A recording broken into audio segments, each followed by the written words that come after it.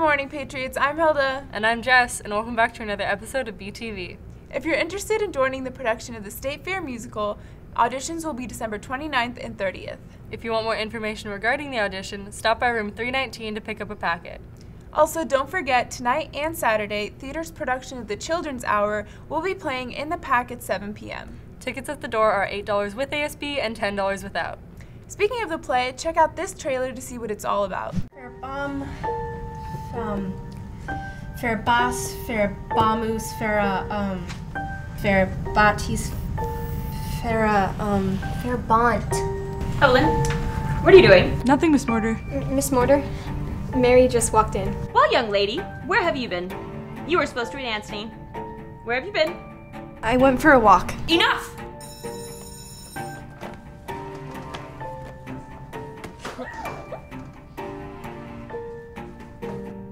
You'll be sorry you did that. I'm scared they'll do dreadful things to me. You deserve to be punished. It's after what happened today.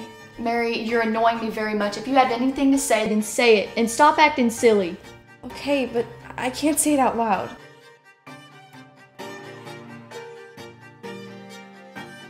What are you saying? I don't believe you know what you're saying, Mary. Are you telling me the truth? Joseph, can you come see me right away? It has to do with the school. There's something wrong with the school? No. What are you talking about? Well, I just got off the phone with Miss Tilford and she seemed pretty upset. I'll be coming back soon. Karen, I'm so sorry. It's all my fault. I know it wasn't true. I found out it wasn't like to you?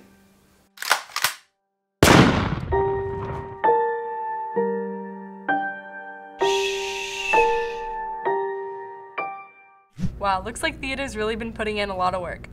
Now to Eden with sports. What's up, Patriots? Not much sports news this week because we are in between seasons, but a huge congrats to girls tennis as they won CIF Division II championships with a crushing score of 14 to 4. Winter preseason begins after we get back from Thanksgiving break. Looking forward to a great season for all of our winter sports. Before I let you go, let's take a look back at the fall season with a senior golfer.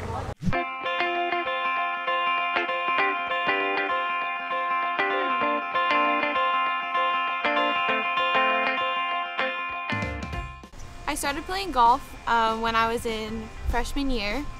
I have been around golf all my life, but I didn't start competitively playing until a freshman.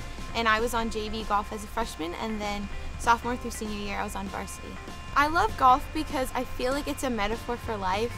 There's always going to be good holes and bad holes, but in the end, one bad hole won't determine your entire round or your entire score, just like how life there's obstacles and it won't determine whether you succeed or you don't succeed.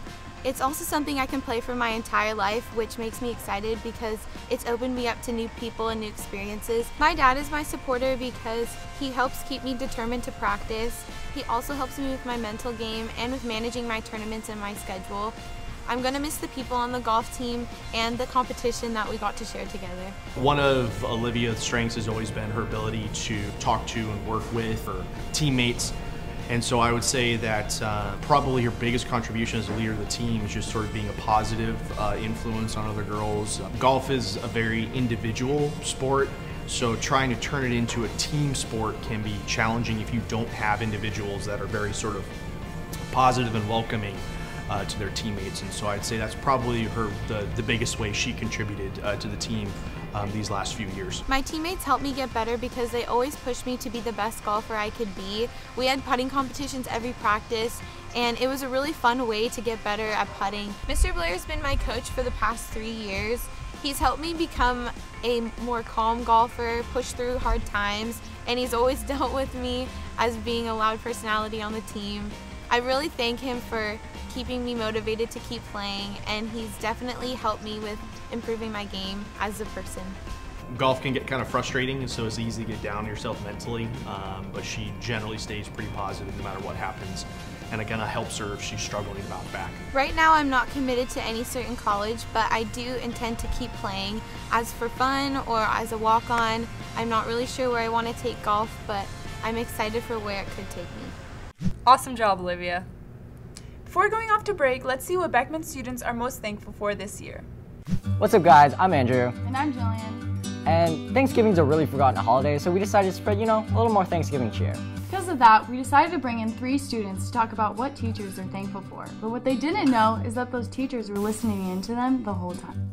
Let's get started. My teacher is Mr. Gonzalez. is my calculus AB teacher. I love every single teacher I've had here at Beckman High School, but two really stand out in my mind, and that's Mr. Chow and Mr. McGill. Every day I walk into class, he talks to me about football. Probably tells me like, you know, did I hurt anyone or like did I take someone to the ground? Like, yeah, I did. Mr. McGill, his way of teaching is like he makes the class such a like such a comforting experience. He's such a personal and amiable guy. He inspired me to be a math teacher. I want to be a calculus teacher one day because of Mr. Gonzalez. You know, Mr. Chow, he's a fireball of energy, just absolute power, energy, and just excitement every single day. kind of want to try his teaching method. I think it's kind of we just let the students figure it out on their own, and they'll eventually figure it out over trial and error.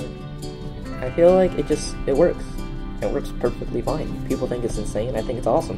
Thank you for everything. You know, the past four years with Mr. Chow have just, have just been like a great time. I mean, he's helped me through a lot, so thank you so much, Mr. Chow. And for Mr. McGill, the same for you. I mean, these guys both wrote my love recommendations, and they've helped me get to where I am this far. So thank you so much.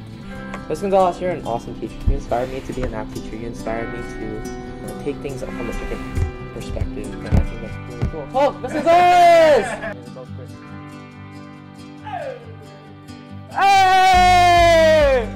God, it's a Christmas miracle! Thank you, man. I really appreciate it. I heard everything that you were saying. I really appreciate it. I think you're It's like genuine, number one. sincere.